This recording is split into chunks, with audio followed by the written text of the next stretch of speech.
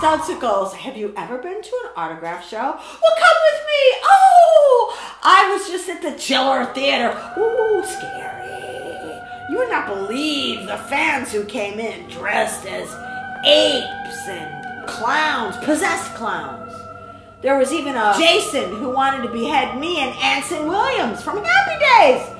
How could we be singing Happy Days when someone's trying to behead us? I was sitting next to Michael Learned, you know, everyone's favorite mom from the Waltons. And we're sitting there and we see all the fans going towards Ron Jeremy. And I said, Michael, we need to be doing porn. She goes, Oh, I'll go get my heels and an apron. Perfect, because I already strapped on my squeeze box. Oh, and not only that, Ron Jeremy and they had they were like pulling their blouses down and asking them to autograph their boobs. Nasty.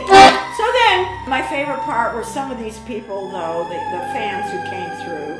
Oh, this one lady would not leave me alone. She's like, Oh, Judy, put your head down while you're signing.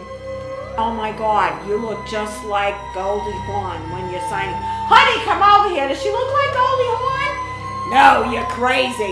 You're crazy. She looks just like Judy Tenuta. No! She looks like Goldie. I'm divorcing you. Oh, that's it. I'm divorcing you. Now, I said, shut up, and I'm going to renew your vows in Judyism.